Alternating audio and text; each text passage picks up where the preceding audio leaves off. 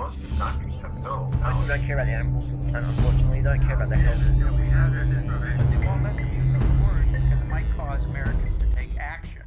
I've heard you talk about before that you started from a place of eating like cheeseburgers and that kind of stuff all the time. Could you talk a little bit about that? Yeah, definitely. Uh, yeah, it was horrible. Um, so back in high school, there was one week, one week where I would eat every day at Five Guys. Basically, it was a, a burger joint, and I would eat there every day. Like my diet before veganism was just basically meat-based, dairy-based, eggs, fish, all that stuff.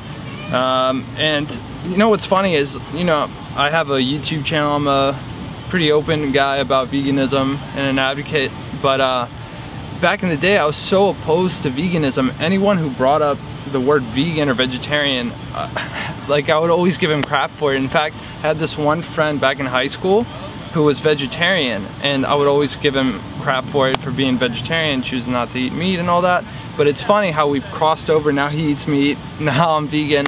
It's funny how life plays out like that. But yeah, I was just um, very into uh, all that uh, animal products and stuff. And after getting into it, I decided to change to a healthy lifestyle without even having the, the, um, the vegan intention in my mind. I just wanted to get healthier. So I tried different diets out because I wasn't where I wanted to be athletically. I wasn't where I wanted to be aesthetically. And also, you know, I, I, was getting sick a lot. Now that I've gone vegan, I feel so much better. I haven't gotten sick, I don't get headaches anymore, no more stomach aches, no more nothing. And I'm just living a healthy lifestyle. And so basically what caused me to really embrace the plant-based diet was a documentary called Forks Over Knives, where they talk about the benefits of eating a whole food plant-based diet. And also I read a couple of books like The China Study, Prevent Reverse Heart Disease, The Starch Solution, Dr. Neal Barnard's Reversing Diabetes, mm-hmm. just a bunch of great books out there. And just continue to educate myself into more healthy living, healthy eating, and from there that sort of domino effect down to what I would call veganism. I found out of not only the benefits that it brings to your body, but also to the environment and of course the animals too. I mean, that's really a direct cause is eating meat. You're, you're causing so much suffering to animals. And so I, I accepted that. I accepted where meat came from. It came from off the bones of living animals. I, I wanted to be vegan. I knew this was the way I wanted to live for the rest of my life. This is what made me happy and uh, I found a sense of purpose and uh, never looked back.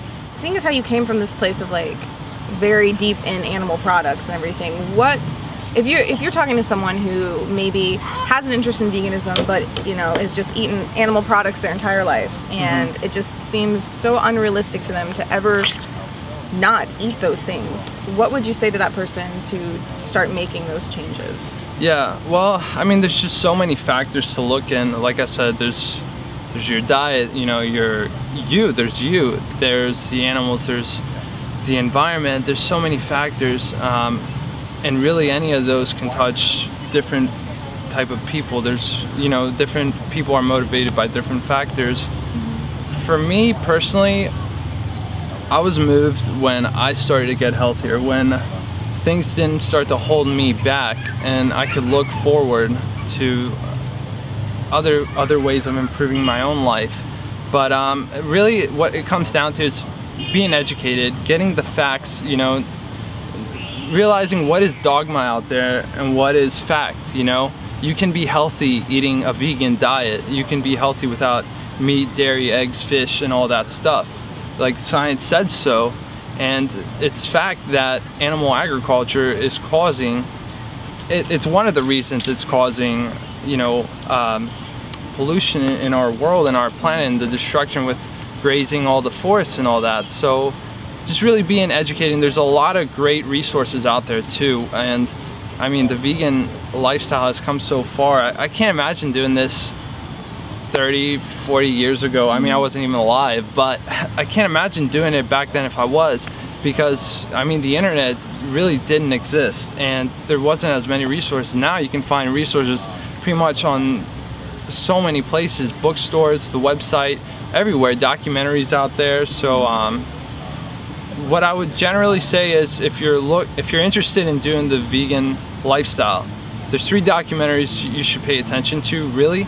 Um, one of them uh, I think is Forks Over Knives, getting your diet straight. I mean, you want to be vegan definitely, but try to be healthy. Try to try to improve your um, try to improve yourself as much as you can. And uh, the second documentary is called Earthlings, which is which is a, a really strong documentary. Uh, it really opens your eyes to what is being done to the animals not just not just from food, not just from uh, diet, but other factors as well, such as leather, the um, the pet industry, uh, fishing, all that stuff. So really great documentary. And uh, the third one is called Cowspiracy. That one talks about a lot of the environmental factors that are that are being harmed by the meat and dairy industry. So there's a lot of great resources out there. So being well educated is definitely a key if you want to succeed on the on the vegan lifestyle.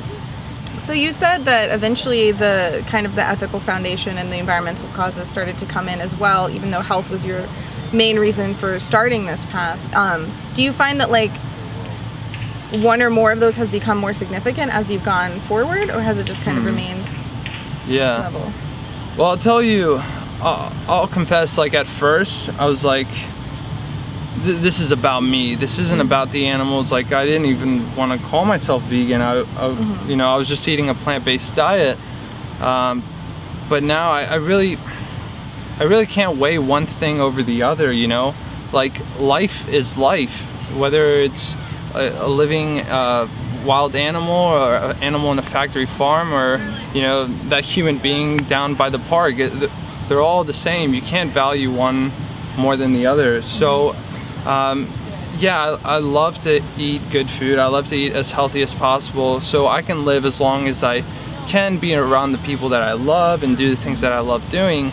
But at the same time, I don't want to cause harm to, to someone else just so I can wear a leather belt or a fur coat or something like that. So I've, I've done as much as I can to, to help the environment, to help the animals, and I'm not gonna say, you know, I'm 100% innocent. Um, there's, but there's little minor things that don't even play that don't even count in the big picture you know? Diet is so easy to change you know? Avoiding leather and and fur and all that it's so easy. Avoiding uh, products tested on animals that's so easy. Anyone can do that. So really just um, I, I really can't weigh one thing over the other you know? Uh, yeah this lifestyle has been amazing because it helps so much and uh, it's it's really more than just about you